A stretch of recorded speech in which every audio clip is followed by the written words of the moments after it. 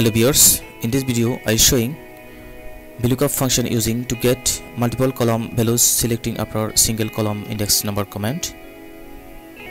Let's suppose these are monthly total sales data and from this data I want to generate some sales person different category sales report finding by VLOOKUP function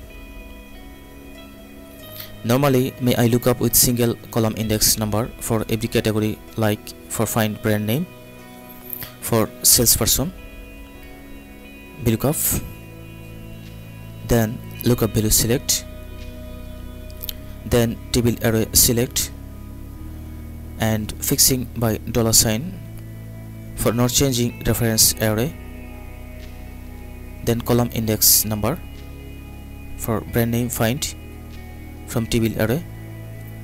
In table array which are in column 2 from leftmost column so put 2 then range lookup for exact match from table array and enter for return value.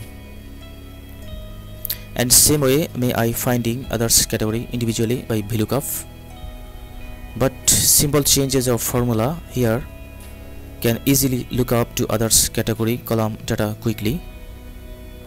Just follow this step. First fix lookup value by dollar sign. Here and here. Then table array that are already fixed. Then column index number argument. Type columns function. And select array like this.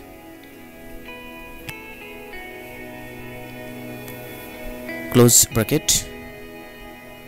And in array range only beginning of array. Type dollar sign. And now enter for return value.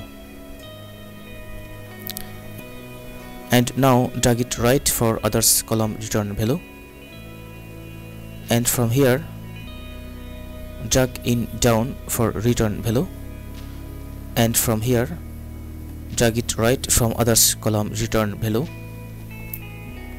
so that's are easier than individual select by VLOOKUP function. Using this feature of data finding by VLOOKUP you may finding more from your table array but column should be same category so viewers thanks for watching. Please comment like and share. And don't forget subscribe my channel for more view